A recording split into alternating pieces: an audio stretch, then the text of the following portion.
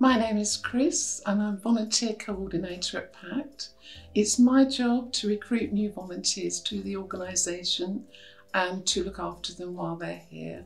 So that means making sure they're kept informed of everything that's going on, meetings and events, and also to make sure that they're happy in the work that they do. We use volunteers at PACT because they enhance the work that we do. They make a difference to the organisation and they bring with them skills and knowledge and expertise.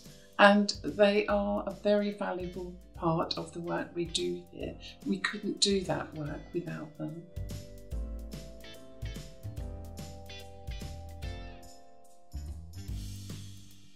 So I decided to volunteer because it was something I was brought up with. So my parents just have always done that, and it's something I've done since I was about 15.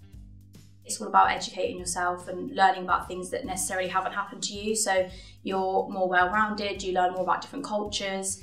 Um, and to me, it's just really important to be able to build that for yourself and, you know, grow up and have different abilities and learn about different things. So um, that's why I wanted to volunteer is really to educate myself, to make a difference did a performance for International Women's Day and it was actually supporting an element of PACT, which is Alana's house. And when I was sat in the audience getting ready to do the performance, I heard all the stories and all the inspirational talks and, and you know everything that people were discussing and it just really inspired me, it really touched me and I wanted to go and, and look into PACT more and understand really what it is that you know that you do and how I can help. I went online and I looked and did a little inquiries form and then I had a conversation with the volunteer coordinator and you know she discussed around the adoption side and the bounce back and all the other bits and pieces that PACT do and I just was really touched and I knew that it was the right place for me. Everyone was so friendly and I just knew that it definitely was the right thing and you know it, it spoke to me at the time so I really wanted to get involved.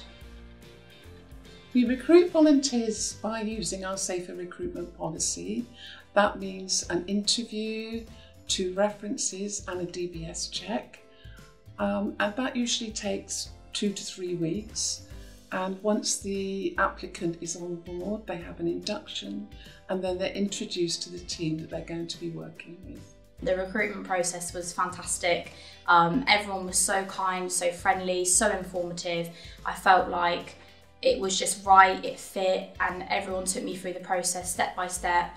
Um, it was smooth, all my training was sent through, I was given a, plenty of time, you know, it was really flexible around when I had time to do it, and I just really think that it was it was one of the best onboarding processes I've ever had, especially in charity work. I've done it for five years and I've never experienced something so organised.